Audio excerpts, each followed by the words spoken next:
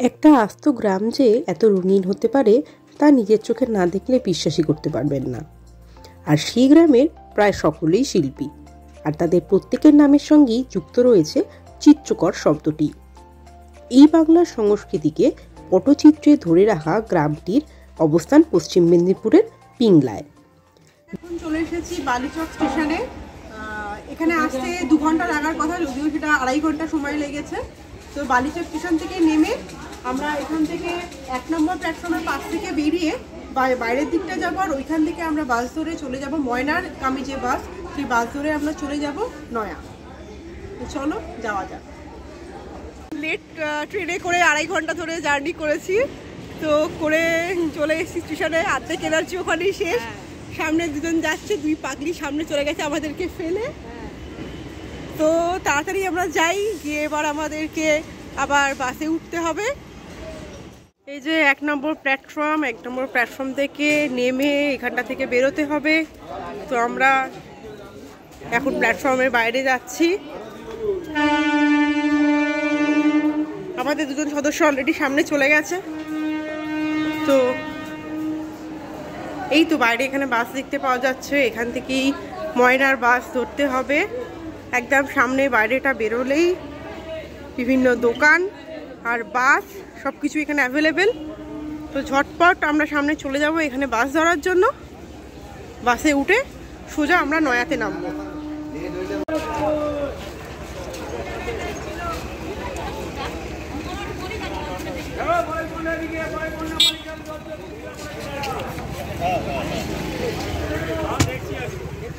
তো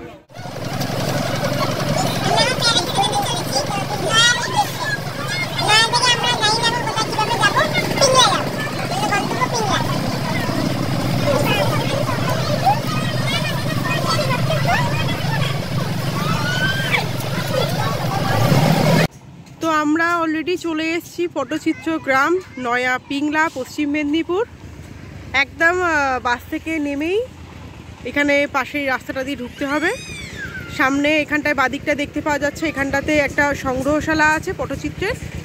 আর বাসে এখানটায় আসতে পঁচিশ টাকা করে পার হেড ভাড়া নিচ্ছে।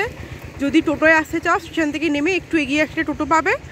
আর টোটোতে পার হেড তিরিশ টাকা করে ভাড়া নেবে। এখানে আসতে মোটামুটি পঁয়ত্রিশ, চল্লিশ মিনিট সময় লাগবে, যেটা বাসে দাঁড়াতে দাঁড়াতে এসছে, এক ঘণ্টা মতো সময় লেগে গেছে।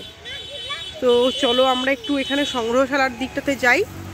এখানে সংগ্রহশালা, কি সুন্দর সুন্দর এখানে ছাগলের বাচ্চা বসে আছে। কি কিউট দেখো দেখো দেখো। তো এখান থেকে শুরু, স্টিলের জিনিসের মধ্যে পেন্টিং করা।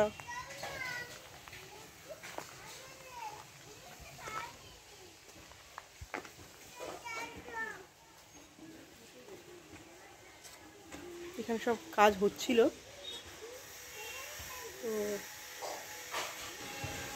প্রাচীনকাল থেকেই ভারতবর্ষে শিল্পকলা, স্থাপত্য ইত্যাদিতে বিশ্ববিখ্যাত। ভারতবর্ষে মূলত তিন ধরনের আঁকা দেখতে পাওয়া যায়।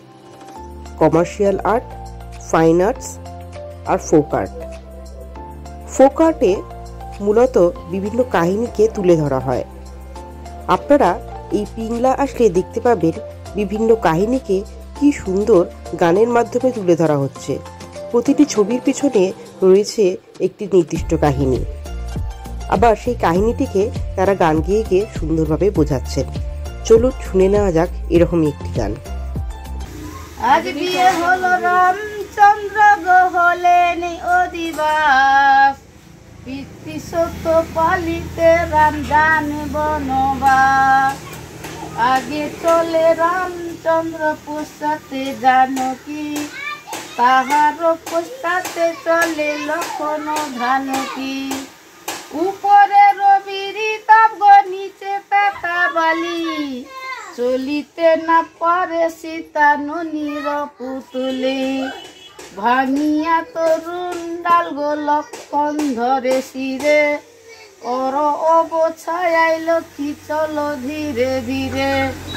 উপনীত হল গিয়া গো পঞ্চকটির বনে। বাঁধিল পত্তেরি কুড়া শ্রীরাম লক্ষণে বাঁধিল পত্রের কুড়া ভাই দুইজন। তাস পাশা খেলছে, বসে প্রহরী লক্ষণ। সুর্পনাখা এসেছিল নাসনে নাক তারে কাটিল গো দেওর লক্ষণে। নাগ হাতে করে রানী নৌকায় চলে যায়। আছাড় খেয়ে পড়ল গিয়া রাবণ ভাইয়ের পায়। বুদ্ধিমন্ত দোষানন্দ কিনা বুদ্ধি করিল? ভগ্নির দুর্দশা দেখে সর্বাঙ্গ জ্বলিল। সর্বাঙ্গ জ্বলিল বটে অগ্নি দিল গায়। মারিতে ডাকিয়া রাবণ বুঝায় বলায়, যাও মারি তুমি সে গো পঞ্চপটির বনে। রাম লক্ষণ সীতা দেখো আছে যে এইখানে। তোমারে ধরিতে যখন রাম তবে যাবে। লক্ষণ লক্ষণ বলে তুমি চিৎকার করিবে। কান্না সুর লাগল গিয়া সীতা দেবীর কানে। ঘন ঘন ডাকে সীতা দেওর লক্ষণে। বোঝাইয়াছ দেওর লক্ষণ তামুল ধরে খাবে। তোমার দাদা দন্যাসনে দণ্ডিক বনে যাবে। বুঝেছি বুঝেছি লক্ষণ, বুঝেছি তোমার মতি। বহু বললে তুমি হবে জানকীর সঙ্গতি। বিষ্ণু বিষ্ণু বলে কর্ণ, কর্ণে দিল হাত। তুমি মাতা সুমিত্রা গো পিতার ঘুণা। এসো গো মারি শ্রী কন্যা সত্য কর মরে। গন্ডি রাগ দিয়ে যাব কুড়ার দুয়ারে। এইখানেতে শেষ করিলাম কবিতার বর্ণনা। আমার নামটি বাহার যান চিত্রকর নয়া পিংলা মেদিনীপুর ঠিকানা অসাধারণ। অসাধারণ অসাধারণ। এখন কোস্টারের সিলেকশন চলছে প্রচুর কোস্টার সবকটাই মোটামুটি পছন্দ হচ্ছে। আমার এখানে মাছের বিয়ের গল্প ছোট্ট করে আছে। এখানেও মাছ। আহ, এটা আমার পছন্দ হয়েছে। আর একটা এটাও পছন্দ হয়েছে।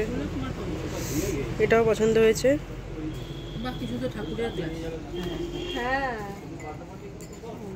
দেখছি আর কি কি এখানে পছন্দ হয়। সবকটাই পছন্দ হওয়ার মতো অ্যাকচুয়ালি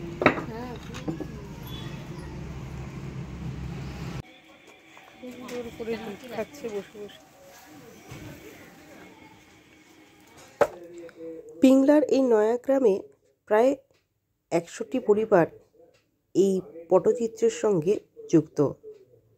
প্রায় সকলেই এখানে মুসলিম পরিবার, কিন্তু সকলেই হিন্দু শাস্ত্রের কাহিনী বর্ণনা করে চলেছেন অক্লান্ত পরিশ্রমের সঙ্গে আমাদের কাছে এই কাহিনীকে তুলে ধরছেন।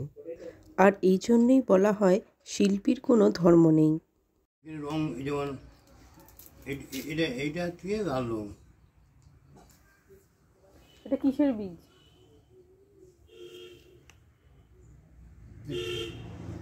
এটা থেকে লাল হয়। আমি এটা হলুদ এটা দেবো কাঁচা হলুদ। তুমি বলতে পারো এটা কাঁচা হলুদ দিয়ে হলুদ রং বুঝতে পারছ? আচ্ছা এটা হচ্ছে তেলাকুচার টিয়া পাখি টিয়া পাখি খায় যেটা তেলা কুচো এইগুলোতে সব রং তৈরি হয় দেখো। তোমাদের কেউ যদি দূর থেকে এই পিংলা গ্রামে ঘুরতে আসেন সেক্ষেত্রে দুপুরবেলা খাওয়ার জন্য আগে ফোন করে যোগাযোগ করে নিতে পারেন। এখানে ফোনে বুকিং করলে মাছ ভাত বা মাংস ভাতের ব্যবস্থা করে দেওয়া হয়। কেউ যদি এখানে এসে রাত্রে থাকতে চান, সেক্ষেত্রেও এখানে পার হেড পার ডে হাজার টাকা হিসাবে থাকতেও পারেন। এখানে সংগ্রহশালার ভেতরে রয়েছে একটি সুন্দর লাইব্রেরি। সেই লাইব্রেরিতে আর্ট রিলেটেড বিভিন্ন বইপত্র রাখা রয়েছে।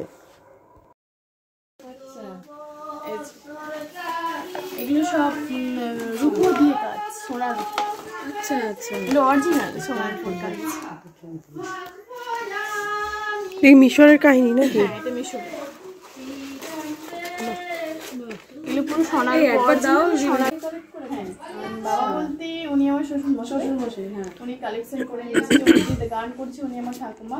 উনি না থাকলে এত কিছু হতো মানে একজন মানে বিদেশি ছিল ফরেনার সে সব কিছু নিয়ে চলে যাচ্ছে আমাদের ইন্ডিয়া থেকে সব কিছু নিয়ে চলে যাচ্ছে। তখন একজন আমার বাবাকে বলল যে আমাদের ইন্ডিয়া থেকে সব কিছু যদি নিয়ে চলে যায় আমাদের ছেলে মেয়েরা কী দেখবে? তখন বাবা ঠাকুমাকে এসে বলল, মা, আমাকে কিছু টাকা দাও। তখন আমার ঠাকুমা বলল, বাবা, আমার কাছে তো এত টাকা নাই। তুমি তাহলে বলে আমার কাছে দুটো গরু আছে, তুমি তাহলে গরু দুটো বিকে, টাকাটা নাও। বলতে আমার ঠাকুমা গরুগুলো বিকলো, বাবাকে টাকা দিল, বাবা নিয়ে বাড়িয়ে গেল। দিয়ে যেখানে সেখানে পড়ে থাকতো রাস্তাঘাটে যেখানে সেখানে।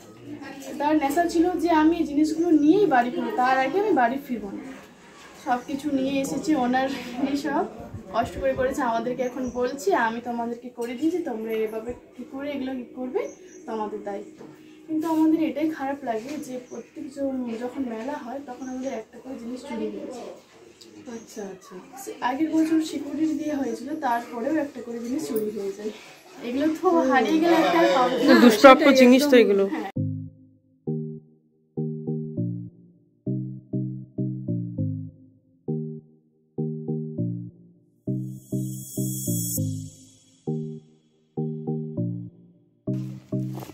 চলে এসছে আমাদের হোমমেড খাবার দাবার চাউমিন বেড়ে নিস তারপর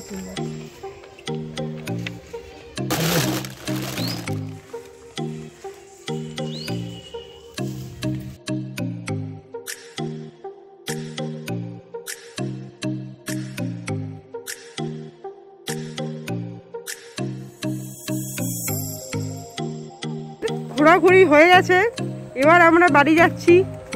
এই একটা মামুনি আমার পাশে আছে আর এক মামুনি এদিকে আর একজন কাচালি করছি। আমাদের ডিওডিনের কাকিমা আর আমরা একসাথে হেঁটে চলেছি। এখনও অবধি কোনো গাড়ি টাড়ি পাইনি গাড়ির জন্য আমরা অপেক্ষারত। আমরা অপেক্ষা না করে আমরা। খুব মুরগি হতে হতে বেঁচে গেছি। কারণ এখান থেকে বালিচক স্টেশন যেখানে আসার সময় আমাদের বলা হয়েছে তিরিশ টাকা করে টোটো ভাড়া নেওয়া হবে সেখানে এখানে ওনারা চাইছেন তিনশো টাকা করে। চারজনে তিনশো টাকা মানে পার হেড পঁচাত্তর টাকা করে চাইছেন যেখানে পঁয়তাল্লিশ টাকা বেশি। তাই আপনারা আসলে আপনারা একটু জাজ করে নেবেন আসার বিচার চাই বিচার চাই। একটু অপেক্ষার পরে ফাইনালি আমরা ঠিকঠাক গাড়ি পেয়ে চলে আসলাম বালিচক স্টেশনে বাড়ি ফেরার উদ্দেশ্যে। তো আজকের আমাদের ডে আউট এই পর্যন্তই ছিল। আবার আসব নতুন একটা ভ্রমণ কাহিনী নিয়ে। কেমন লাগল অবশ্যই কমেন্টে জানাবেন।